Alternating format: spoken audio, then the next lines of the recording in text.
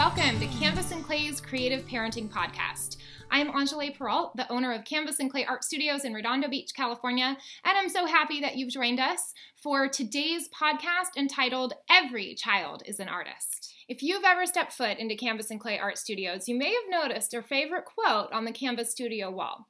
The reason we keep it there is just to remind ourselves why it is that we do what we do, teaching both children and adults how to connect with their inner artistic confidence and to trust their ability to learn something new.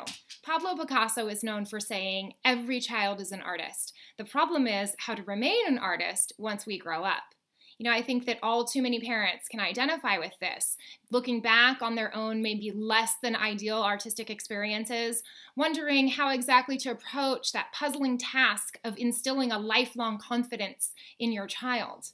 You know, I believe that the secret is actually pretty simple. Start young, start now. Whether your child is a budding artist or a flourishing creative, get them some skills and just watch how they bloom. More good news? It's never too late to create that artistic spark. And yes, I am talking to you again, mom and dad. Now, if that answer seemed obvious, that children who are exposed to the arts at a younger age naturally have more of an artistic acuity, then let me just go a step further in pointing out exactly what's going on behind the scenes. While we are teaching your child a vast array of methods and techniques in weekly art classes, there is also a hidden skill that's being developed, one which we all want more of for our children, and for ourselves. And that is self confidence, fearlessness, that willingness to try, try, and try again. A knowing within your child that she possesses all of the necessary tools and know how, and it's just up to her to put it all together and create her own artistic vision. So, how can you guarantee this for your own child?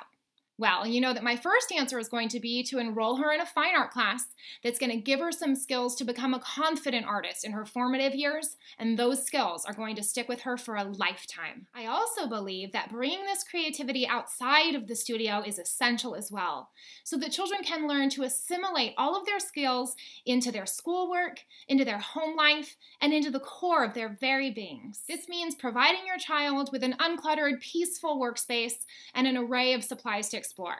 Now, this can be a table in the corner of your kitchen, or it can take over your whole entire playroom. What matters is that your child has a physical workspace that is peaceful and uncluttered, ready for her to tap into her creative energy at any time. You know, just like in the studio, where the easels are always set and ready to go, the supplies are always clean and stocked, and there's peaceful music playing in the background for inspiration. In addition to providing the support of a physical space for your child, it is also essential to provide the emotional support that they need to feel confident artistically.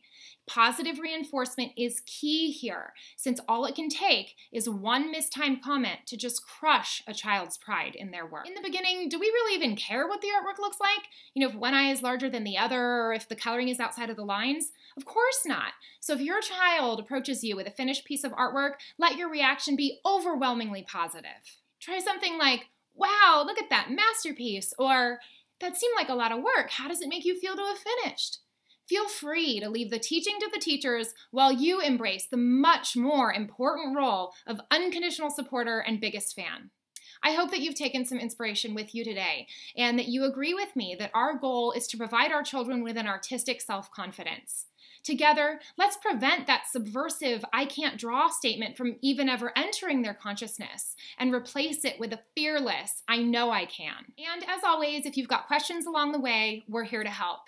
So thank you for joining me today. And until next time, let's stay connected, stay creative, and most importantly, stay inspired.